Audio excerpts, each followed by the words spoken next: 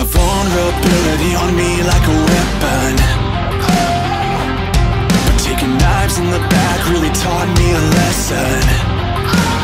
I just wanna thank you. I just wanna thank you For beating me down, for messing me